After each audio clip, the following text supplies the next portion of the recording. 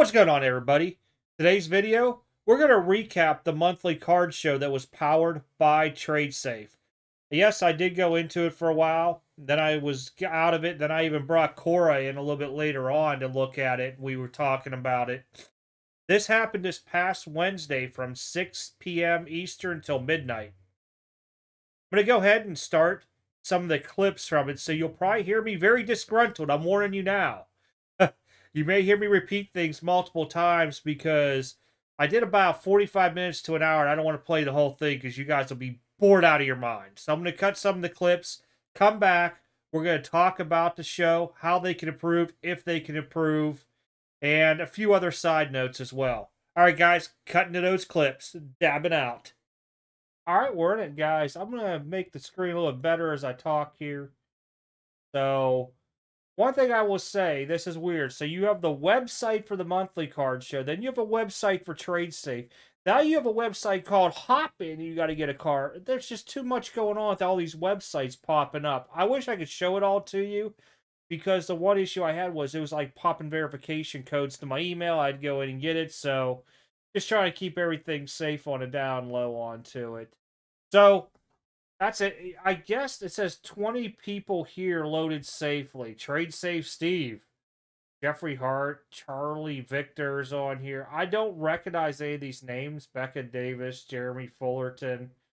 I was trying to see if I actually.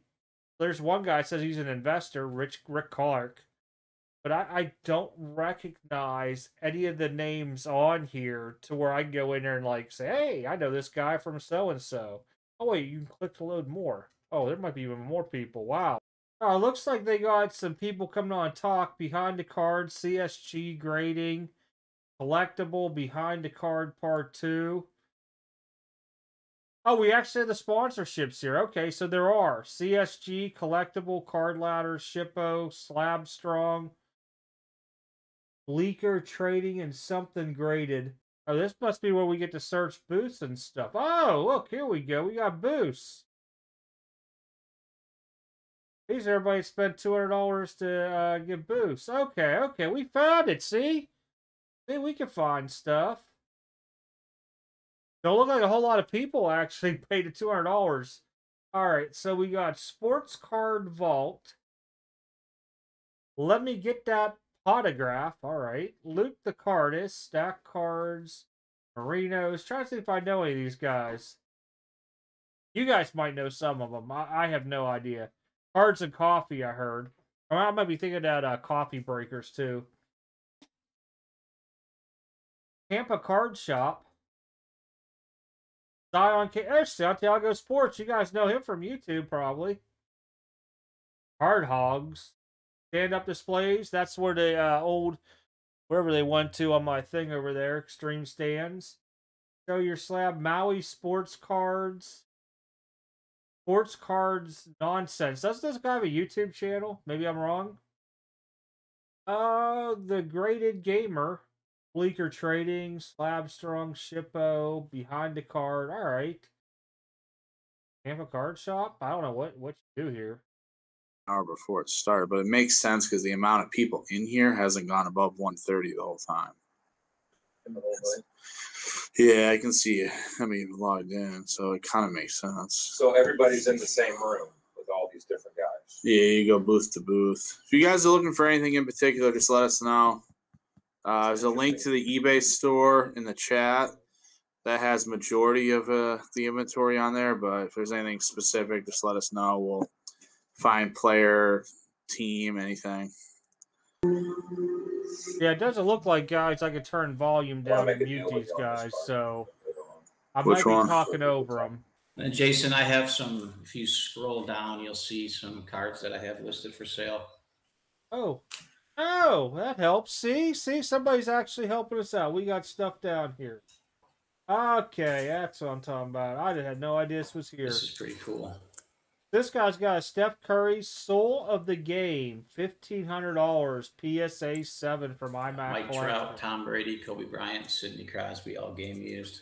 There's a Michael Jordan star, guys. They're out there. Them stars are coming. Let's see who's hitting me up on the phone.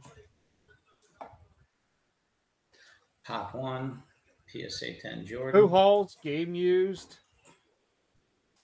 Mikhail.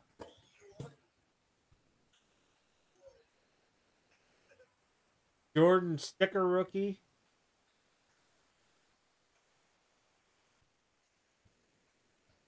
All them out of five.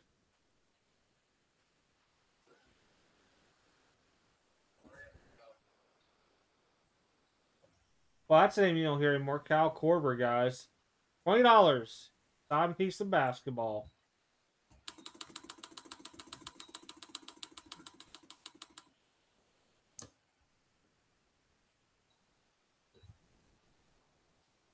I'm just scrolling through in case you guys see something on here. I mean, right now I'm at the point where I think the top card two two we looked at was it. Yeah, don't you hate when we're the only ones in there, guys? Someone, please fucking come talk to me. Hello, somebody's there. I want to figure this out. God damn it. What's your name? Guys, we'll be nice. We'll tell them we have No, sound. it's just me. Let's go check out Trading Card Empire.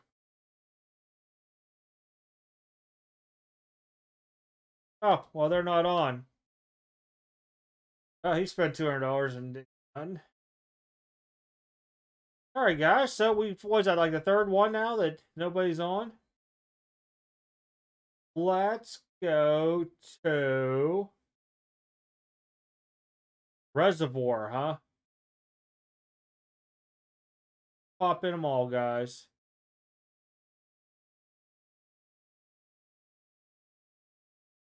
Nobody on this one either. Alrighty then, let's go back. Man, if I came live, you guys would be tearing up the chat right now. I am not lying. I'd probably be more interested with what you guys are saying in the chat than I am with this. Holy cow. Alright, let's go to a couple more. Coffee Breakers, they're on whatnot, but I knew about them before through Facebook. If these guys don't have a big crowd in here right now, then we got something crazy. Oh, well, they're having me go to YouTube.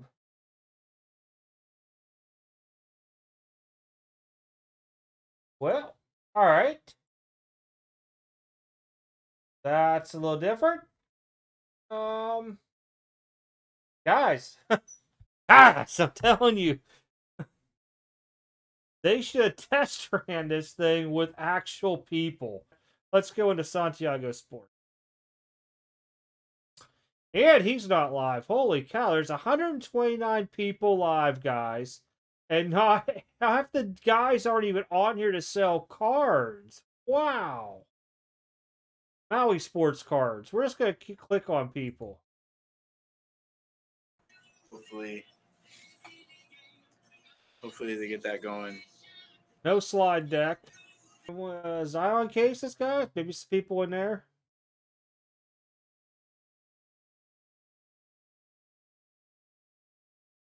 Another one you just watch on YouTube.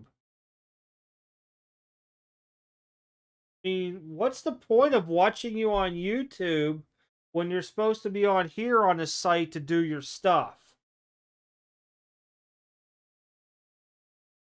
So you guys got to see some of my frustration, I'm sure, in it because I at this point I don't even know what I posted before this because I still got to cut and splice. So let's hit some of the recap. I'd never heard of this card show going on until Saturday, last Saturday, and that was at the local card show at the Derby City uh, in Louisville. So with that being said, I went on. We did a video. Nobody heard about it. Uh, I didn't see it promoted anywhere. When I first logged in, it said it had sponsors, and I had no idea who the sponsors were until I did a three-step process, three freaking step process just to be able to do, go in there and view this show. Um, and then I got to see the sponsors, which was like CSG, Slab Stock, Stand Up Displays. There was a couple other ones I know I'm missing, but I, I may have showed that in the video clip. So three things I had to do. One, first site, I had to register to come into it. Then I had to go to TradeSafe and build an account there. Thought that was it. I then went to go log in. It's like, oh, you got to go on to Hopin to get in here. Three freaking sites to get in a card show? That's ridiculous. they need to band all this stuff together or find a way to where it's all centrally located within their site. If that means that they're not owners or part owners of TradeSafe, you need to find a way to do all that stuff on your own because that's just a pure headache. I mean, it was ridiculous just trying to get into it, the amount of stuff to do. I was not overly impressed by it. It was a good thought process of what they wanted to do, don't get me wrong. Execution was poor. So when I first logged in, I was like, oh, heck, how do you do this? There was like 160 people in it. Uh, about halfway through when I brought Cora in back into it, because we were looking at through, I believe it was, yeah, we did through Zoom, I was showing them. There was under 100 people in there. Now you got to figure probably about 20 of those are uh, dealers, which it costs the dealer $200 minimum to be on there. With that, they could upgrade it with all these other packages, I think up to like five or six hundred dollars. Then they also had admin running. So as I was popping through the very few people that were live, mind you, at the start of the show up to about 30 to 45 minutes in, everybody's like, hey, can you go live with me real quick? And I'm like, well, I'm doing YouTube stuff, I can't. They had the frustration. They didn't have pictures of their cards that were supposed to be on some slideshow. The one guy told me that they did no like early test run of this except for an hour before the show with everybody. If this was my first time doing this, I would have said a week out, guys, I'm gonna be live from Saturday, 6 p.m. to midnight. You guys float through, get your slideshows or something in there so you guys know how to do it.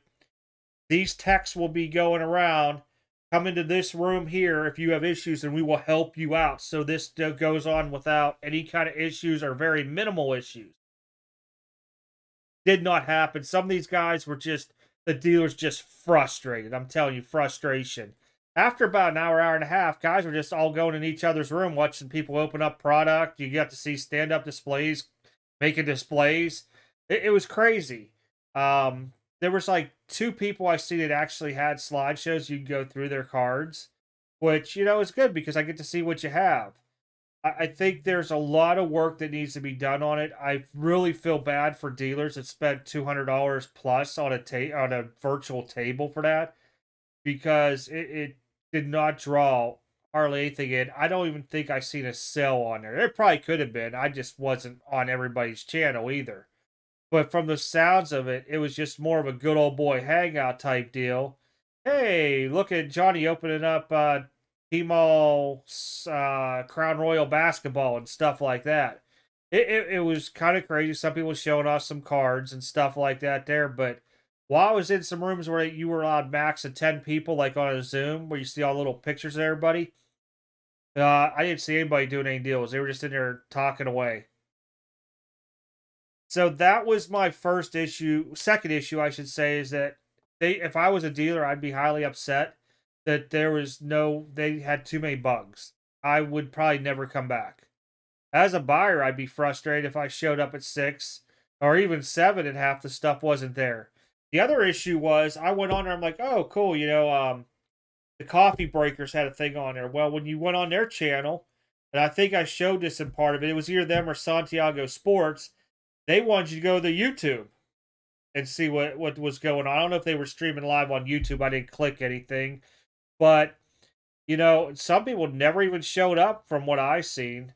Uh, I know when Cora came on, we were flipping through a lot, and there's still a couple guys that were not even on. So that was a big, big issue with it. The next one that I have wrote down here, I got to read. Uh, the dealers were confused on the process. Even though it says, you know, you can do all these different payment methods off of the monthly card show's website, they said PayPal friends and family. Well, when you go over to TradeSafe, it says your payments have to be made by Venmo, Cash App, or PayPal. I believe goods and services, right? So if you look at that, they were talking about cash and all this stuff. It made no sense on how this stuff all worked. There needed to be a better explanation onto it because the only thing everybody agreed upon was if you were buying cards that day, you had to buy a package thing of $25. You can get up to 10 cards to go to Trade Safe. Once they get in there, you pay the bill. Once all your cards come in from the dealers, they will then ship them to you. It, it just did not make a whole lot of sense. There was too many moving pieces into it to where I wouldn't even have bought off it. I would probably would have worked deals off the side with people, PayPal goods and service items or something.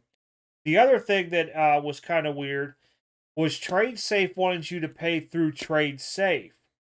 They were saying on the monthly card sites website, you just post a screenshot of your payment to the person and attach it somewhere. I have no idea where you do that attachment at unless I had to buy the package in order to figure all that out. It, it, it was, to me, a good idea, but it was poorly executed, poorly planned. It was not promoted heavily. If you were relying on the people buying tables to promote it, then you shouldn't be charging that kind of money because dealers are not going to promote their own stuff to bring an influx crowd in. Because when I saw 160 people and I'm like, well, whose room are they in? And you had like CSG on there, and there was like I don't know some kind of like weird seminar thing going on in somebody else's room. But I figured, oh, well, they must all be in the coffee breakers. Oh, they must all be Santiago sports guys. Well, they weren't on, so no idea and floating through, the most I'd see is like four or five dudes in a room. At one time frame, I think we had like 15, 16 in a room, but or on a ta- virtual de- dealer table, whatever you want to call it, onto it.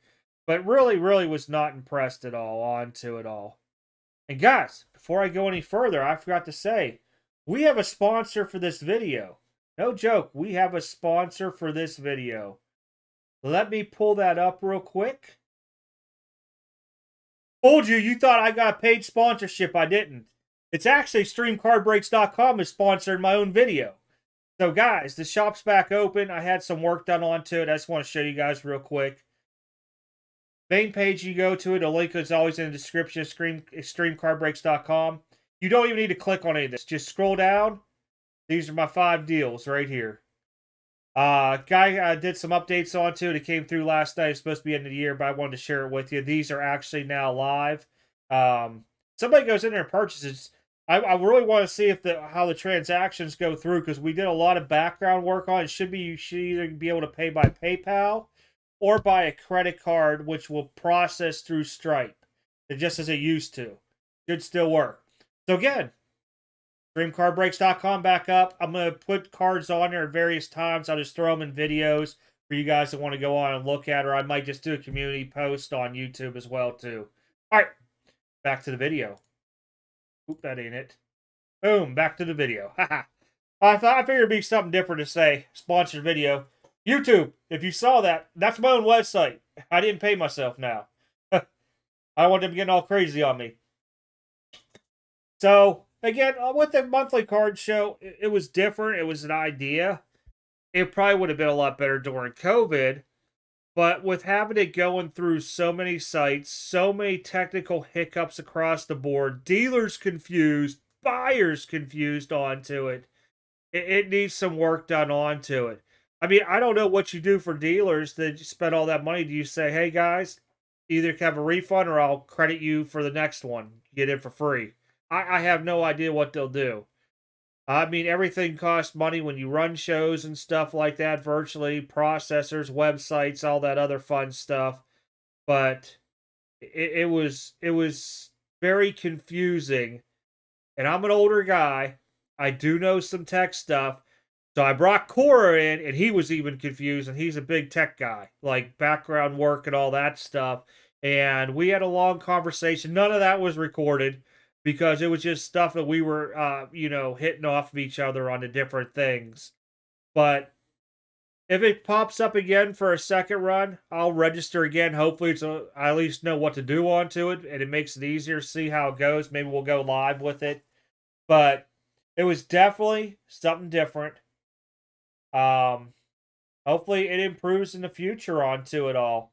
I mean, if you were out there, please feel free to leave comments below. If you were a dealer leave feedback below because I tried to bounce through so many rooms uh, during the whole time frame, and I really didn't see anybody that didn't look like they were frustrated or just it was just like one big Zoom where guys were all just chit chatting with each other. I, I don't even know if I if there were any deals that went down because I was hoping to see deals and how it worked because the idea was the dealer uh, sets something up through TradeSafe, you get a uh, some kind of email bill, and then you go through and do it all. But like I said, dealers were talking all different too. The couple that were talking about the process. So if there's confusion there, it's definitely confusion everywhere else. All right, guys. Catch y'all next video. I am out.